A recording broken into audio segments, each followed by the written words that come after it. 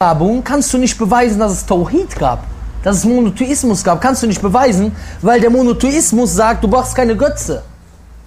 Das heißt, du kannst niemals eine Götze vom Monotheismus finden, weil es keine Götzen gibt. Das heißt, du kannst höchstens sagen, vor 3000 Jahren an diesem Ort haben die Menschen bestimmte Götzen angebetet. Ja, du kannst niemals sagen, dass davor, dass es davor kein Tauhid gegeben hat, kein Monotheismus. Das ist totaler Quatsch. Das ist eine Idee, das wird als Wissenschaft verkauft, die rein auf Vermutung beruft. Genau wie Islamwissenschaft, die moderne, die sogenannte Orientalismus. 90% Vermutung. 90% Vermutung.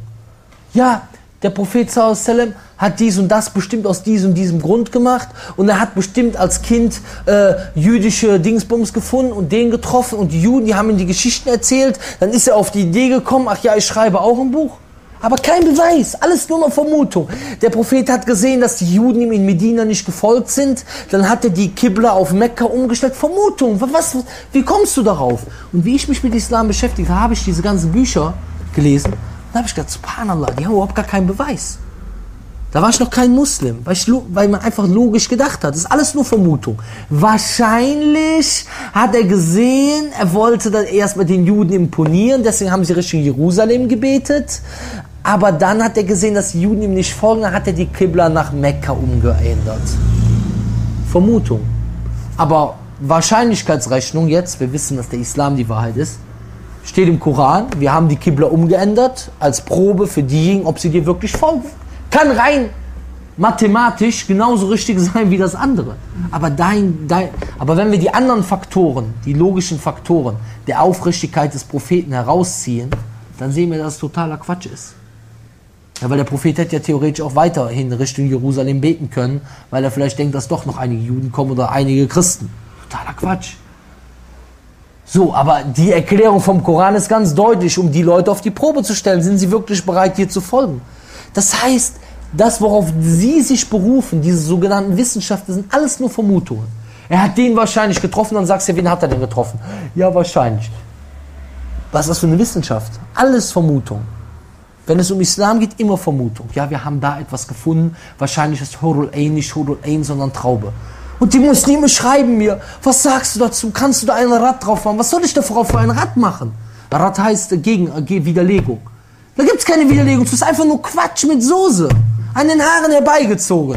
Ja, wahrscheinlich hat er einen Tannenbaum gesehen. Dann hat er, Verstehst du, das ist alles nur an den Haaren herbeigezogen. Deswegen, wir müssen, wenn wir draußen sind, nicht immer auf jeden Quatsch reagieren. Genau wie diese Anthropologie der Religionen.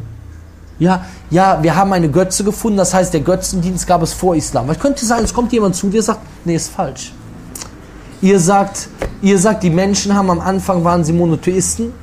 Die moderne Anthropologie der Religion sagt, nein. Es war am Anfang Götzendienst. Fängst du an zu zucken. Hier, wir haben die Beweise von Koran und Sunna. Wo sind deine Beweise? Ja, wir haben eine Götze gefunden von vor 3000 Jahren. Also gab es da Götzendienst. Ach so, cool. Logisch. Voll das logische Argument. Also das heißt, 4000 Jahre vorher kann es keinen Monotheismus gegeben haben, weil es 3000 Jahre, vor, vor 3000 Jahren äh, Götzendienst gab. Das ist totaler Schwachsinn. Das zweite Argument, was die Leute bringen, guck mal jetzt das zweite, guck mal diese, guck mal diese Wholeness. diese Hohlheit von diesen Leuten, dieses Vakuum im Hirn. Guck mal, zweite Argument ist, wir hatten, die gucken sich die primitiven Stämme an von heute, und dann machen sie einen Analogieschluss. Zum Beispiel in Afrika, in Südamerika, und die sehen, die beten Götzen, und dann sagen die, ach ja, früher war das Leben auch primitiv, also haben die auch Götzen angebetet. Das ist totaler Quatsch. Du findest heute auch primitive Stämme, die Monotheisten sind. Du findest heute auch Leute, die modernsten Leute, die vielleicht, was weiß ich, äh, die vielleicht äh, Akademiker sind, die beten den Satan an. Oder die beten nur tausende Götzen an. Totaler Quatsch. Das heißt, diese, daran siehst du, diese ganzen Argumente, die die haben, sind voll für die Katze. Aber hier, wir glauben an Koran und Sunna. Wir haben eindeutigen Isnad, Überlieferungskette. Diese Überlieferungskette, die wir haben, wie zu uns Koran und Sunna gekommen sind, ja, wenn du das anwenden würdest auf heute die Nachrichten im Fernsehen, dann würdest du keine Nachricht glauben keine Nachricht. Weil du hast immer mit Lügnern zu tun, immer mit Leuten, die irgendwas äh, überbringen wollen, was gar nicht stimmt. Mit Leuten, die vielleicht ein schwaches Erinnerungsvermögen haben, die äh, nicht genau sind in der Überlieferung. Du hast vielleicht, äh, dass dir irgendjemand was erzählt, was er gar nicht genau gesehen hat. Aber das Problem ist, jeder glaubt. Weißt, dann kommt jemand, der schmückt die Sachen schön aus, die Atroplyse, Aploplinoxe, drei Fremdwörter in einem Satz und dann glaubt natürlich die 95-jährige Oma, glaubt ihm dann natürlich, was der erzählt. Glaub es mir, ich sehe so oft Leute, mit denen du diskutierst über zum Beispiel ein Produkt im Handel. Ja, wir haben im Fernsehen gehört, dass das nichts ist. Ich habe gesagt, ja, was haben Sie denn im Fernsehen gehört? Welche Argumente kamen denn? Ja, wir haben das und das. Die kann gar nicht. Ja, ich habe nur gehört, dass das schlecht ist. Ja, aber was? Warum? Konkret. Ich will eine konkrete Aussage. Ja, das war im Fernsehen. Ja, was denn konkret? Eine konkrete Aussage. Bruder, die Leute wissen nichts, glaub mir. Du erzählst ihnen im, Fernsehen irgendwas. Oh, echt? Ja, dann ist das auch so. Richtig hohl. Hauptsache ist irgendwie, irgendwie steht's da. Aber dir, aber dir ein konkretes Detail zu geben, warum, weshalb, wieso, haben wir gehört, ist so. Der Mensch stammt vom Affen ab. Okay, alles klar, das haben wir geschluckt. Super. Das ist das Problem. Man glaubt immer das, was im Fernsehen kommt. Und die Muslime sind mittlerweile fast genauso. Da erzählt dir irgend so Spinner im Fernsehen, erzählt dir ja von wegen, oh, im Islam, die Rolle der Frau im Islam und bla bla bla. Auf einmal die Muslimin fängt das selber an zu glauben. Und du hast es manchmal mit solchen hohlen Birnen zu tun, dass du echt nicht weißt, wo du sie siehst. Ich rede gestern, gestern rede ich ein bestimmtes Thema. Warum darf eine Muslimin keinen Christen heiraten, aber ein Muslim darf einen Christ heiraten? Da habe ich gesagt, dass die, die, Frau physisch schwächer ist. Physisch schwächer. Deswegen, ein Mann kann theoretisch die Frau dazu zwingen, etwas zu machen, was sie von der Religion her nicht machen darf. Zum Beispiel der Christ sagt zu der Frau, hier, du musst mir ein Schweinekotelett braten. Das heißt, der kann die dazu zwingen, das zu tun, rein körperlich.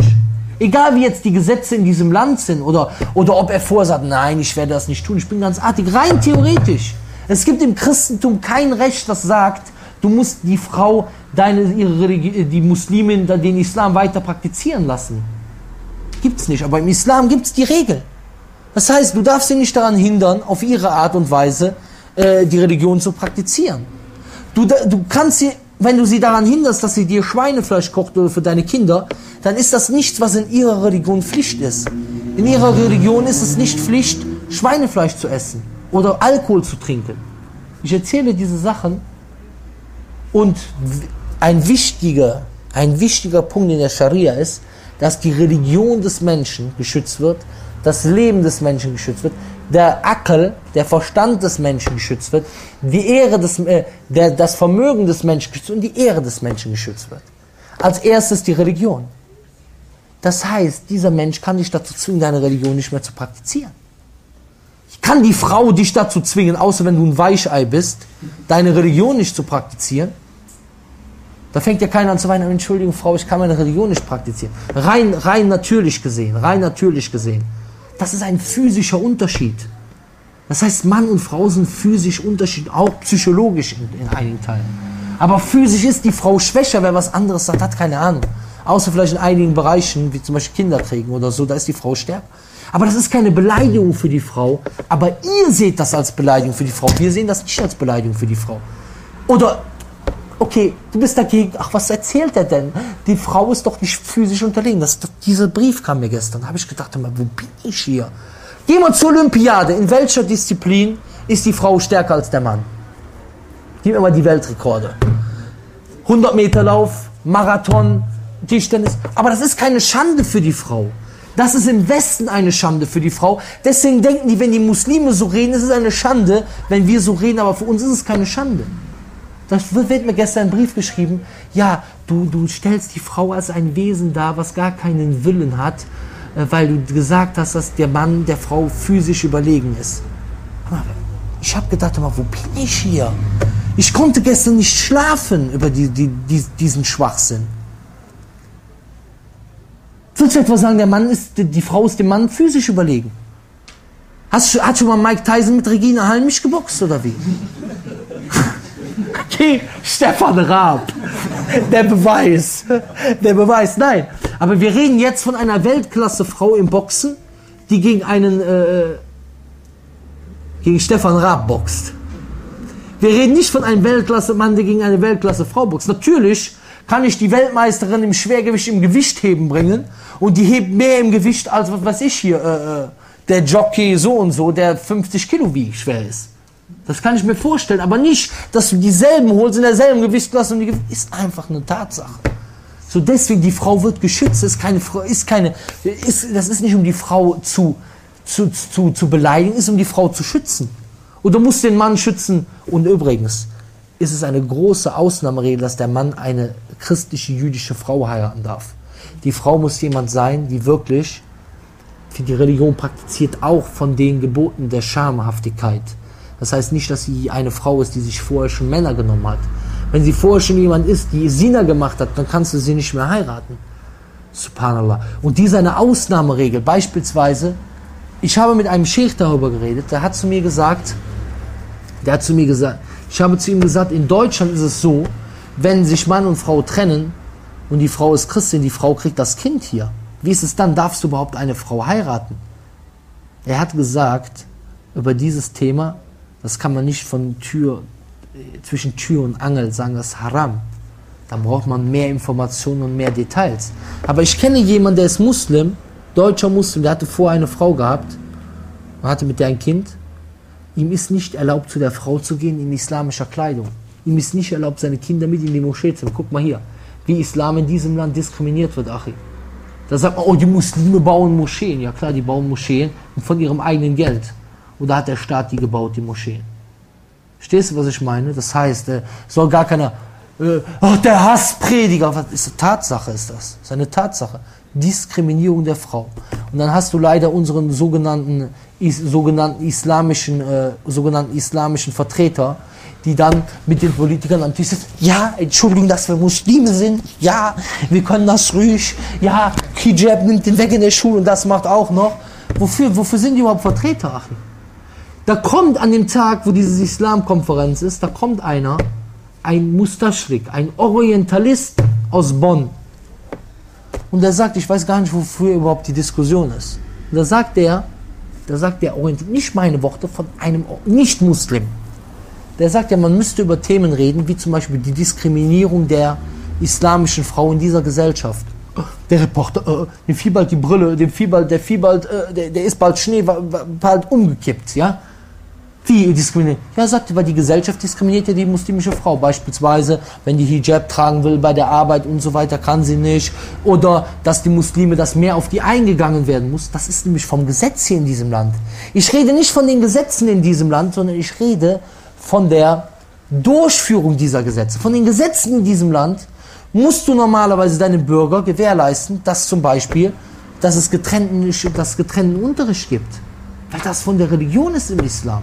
Aber die, wenn du so kommst, sagen die zu dir, Extremist, Terrorist, radikal. Warum? Weil du solche Vertreter hast, die sich als islamische Vertreter nennen, die sagen, ja, man kann das heute alles anders sehen. Juden und Christen kommen auch ins Paradies. Deswegen bist du radikal.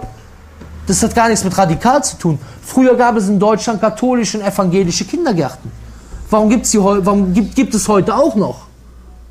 Das heißt, und dann sagt dieser, dieser Nicht-Muslim in, diesem, in, diesem, in dieser Reportage, sagt er, zum Beispiel getrennter Unterricht, zumindest im Sportunterricht, sagt er, sagt er, das müsste eigentlich jedem verständlich sein, von der Schamhaftigkeit her. Also zu meiner Zeit, als ich zur Schule gegangen bin, gab es auch getrennten Sportunterricht mit Jungen und Mädchen. Aber heute sagen sie dir, du musst das Kopftuch ausziehen.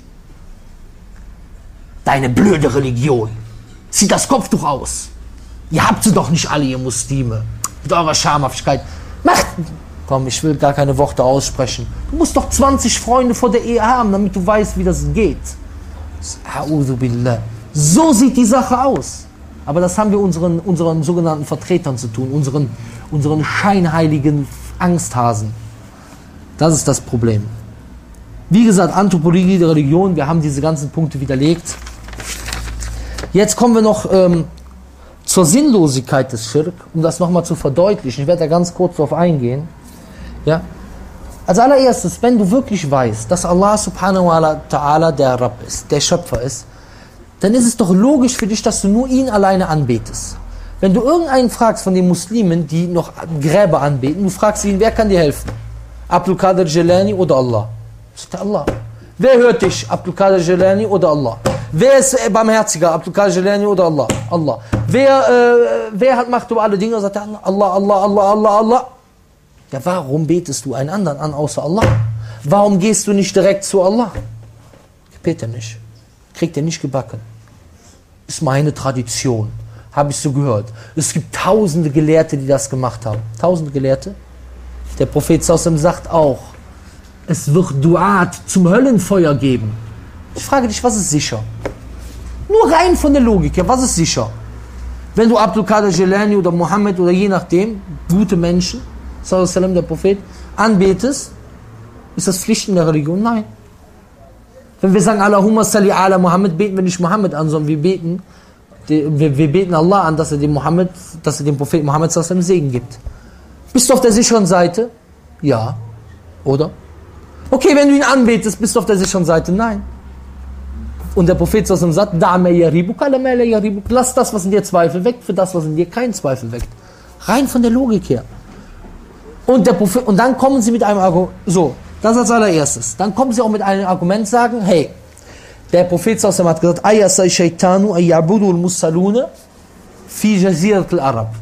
Die, der Shaitan hat aufgegeben, dass die, dass die Betenden in der arabischen Halbinsel den Satan anbeten werden. Dann sagen die, guck, das, was du erzählst, dass Muslime in Schirk fallen, ist Quatsch. Weil kann gar nicht sein, weil der, Sat, der Prophet sagt, der Satan hat aufgegeben. Was sagen wir hierzu? Wir sagen als allererstes, vom Hadith selber sagt der Hadith gar nichts aus. Denn er sagt, also er sagt nichts bezüglich deiner Annahme aus, weil du willst den Hadith so verstehen, wie du ihn verstehst. Weil er sagt nicht, die, die Gebetenen auf der Jaziratul Arab werden nie mehr Schirk machen. Er sagt, der Satan hat es aufgegeben. Das ist die Lage des Satans. Das ist, das ist dem Satan seine Annahme. Aber das heißt nicht, dass es passieren wird. Zweite Sache ist, zweite Sache ist, wir haben Beweise, ganz deutliche Beweise, aus der Zeit von den Sahabern, dass Leute vom Islam abgefallen sind. Wir brauchen nur die Geschichte von Abu Bakr hat einer genießt? Hast du Alhamdulillah gesagt? Yarhamukallah. Yahdikum Allahu. Yahdikum Allahu. Wa yuslih balakum. Alhamdulillah, das sagt man dann. Das kannst du auch lesen, das steht alles in dem Buch. Alhamdulillah. Jetzt guck mal. Haben wir auch noch was anderes gelernt. Alhamdulillah. Guck mal. Aber jetzt kommen wir mit einem anderen Hadith, wo der Prophet sagt, La takumu sa'atu hatta talika äh, kabailu min ummati. Der sagt, die Stunde wird nicht eintreffen, bis Völker, Stämme von meiner Umma, die Mushrikun einholen, und bis die Götzen angebetet werden. Das heißt, der Prophet sagt, das wird stattfinden. Deswegen sagt Ibn Rajab al-Hanbali, dieser Hadith, Ayasai Shaitanu, der Satan hat es aufgegeben. Das bedeutet, das, das Ibn Rajab al-Hambali ist wirklich ein großer Gelehrter. Das bedeutet, der Satan hat aufgegeben, dass alle Muslime in der Jazir al-Arab sich im Schirk treffen werden und Schirk machen werden. Den großen Schirk, ja. Dann Ibrahim oder ihn anbeten werden, ja. Ibrahim. Dann die nächste Geschichte ist von Ibrahim a.s. Wie sinnlos der Schirk ist. Ja, eben haben wir erwähnt, wie sinnlos der Schirk ist, wenn du weißt, dass Allah derjenige ist, der gibt, der weiß. Wofür betest du jemand anderen an? Zweite Sache ist Ibrahim a.s. Was hat er zu seinem Vater gesagt? Ja abati lima ta'budu ma la yasma'u wa la yubsiru wa la yughni anka shay'a. Oh, mein Vater, warum betest du an, was nicht hört und nicht sieht und kann dir nichts nützen? Was hat der Prophet gesagt zu Fatima? La ughni anki min. Selbe Verb. Ich kann dir vor Allah nichts nützen. Dann, was ist, was ist jetzt mit dem Propheten sallam? Hört der Prophet sallam? Der Prophet sallam ist von diesem Leben in ein anderes Leben übergegangen. Wenn jetzt jemand sagt, der Prophet ist tot, ist das korrekt? Doch, ist korrekt, die Aussage. Korrekt aus der Sicht von, dass er gestorben ist von Hayatu Dunya. Wenn ich frage, ist der Prophet lebendig, ist das korrekt? Ist auch korrekt. Korrekt vom Sicht Hayat al-Barzachiyah dass er im Barzach lebt, aber ist in eine andere Übergangsstufe übergegangen. So jetzt, was wird gesagt? Es wird gesagt, Barzach heißt diesseits, dann kommt am jüngsten Tag, der jüngste Tag, wenn alle auferweckt werden und man geht entweder ins Jannah, ins Paradies oder in die Hölle, Allahumma inna nas'aluka al-firdaus. Und dann gibt es diese Zwischenwelt, zu der auch das Leben im Grab gehört. Das heißt, der Prophet und gerade die Propheten und die Shuhada, die haben eine besondere Art von Leben. Ja, weil Allah sagt auch im Koran, وَلَا تَحْزَبَنَّ الَّذِينَ قُتِلُوا فِي سَبِيلِ اللَّهِ أَمْوَاتًا بَلْ أَحْيَا Erwarte nicht, dass diejenigen, die auf dem Weg Allahs gestorben sind, tot sind, sind lebendig. Aber nicht lebendig im Sinne von Hayat und Dunya, sondern lebendig im Sinne von Hayat Barzachia. Aber jetzt, der Prophet sallam, Allah, der sagt, dass ihm der Salam überbracht wird. Das heißt, wenn du sallallahu alaihi wasallam sagst, egal ob du hier stehst oder am Grab bei ihm, der Salam wird ihm überbracht und er grüßt zurück. Weil Allah gibt ihm Ruh zurück. Aber das heißt nicht, dass du Dua zu ihm machst und du sagst ihm, oh Prophet, mach für mich Dua zu Allah. Oder noch schlimmer, du sagst dem Propheten, dass er was totaler Schritt ist, äh, gib mir ein Kind oder verzeihe mir oder sowas. Weil das ist nicht überliefert worden. Jetzt frage ich euch eine Sache. Zur Zeit des Propheten sind viele Leute zu ihm gegangen, haben zu ihm gesagt, ja Gesandter Allah, mach Dua. Und der Prophet macht Dua, das Regen kommt runter, hört nicht mehr auf, die kommen nächste Woche, mach Dua, dass der Regen aufhört, der Regen hört auf, mach Dua, dass meine Mutter recht wird die Mutter wird recht bleiben, mach Dua, mach Dua. So viele Stellen. Jetzt frage ich dich was, das war zur Zeit des Lebens vom Propheten. Jetzt, wann hatten die Muslime mehr Probleme gehabt? Meinungsverschiedenheit, größtes Problem. Zur Zeit des Lebens, im Leben vom Propheten oder nach dem Leben vom Propheten